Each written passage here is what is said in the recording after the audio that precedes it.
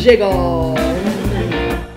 We are at the Booth Theater on 44th Street, and we are seeing um, I'll Eat You Last, which is directed by my friend Joe Mantello and starring Bette Midler as the super agent Sue Mengers. There's no one like Bette Midler. She's one of a kind, and she's one of the greats. I- I'm just thrilled she's doing a play on Broadway. She's acting. She's doing what she does best.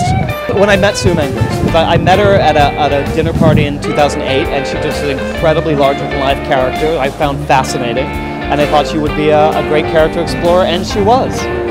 Sue Mengers was was one of those people. Totally unique, totally outrageous, difficult, brilliant, funny. And um, is perfect to embody all those character traits because she's brilliant and she's funny, and I think she probably has a great kind of um, feeling for that kind of a character. Talent, willpower, and let's not forget the old adage stamina. Eight shows a week is not for is not for wussies. It's just not. You got to know what you're getting into. She knows.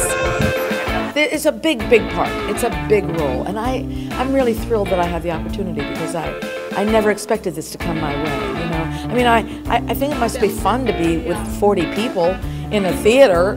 I mean, I haven't done that since 1969, but you know, to be alone, it's a little bit lonely, but I do have the audience, so it's fun.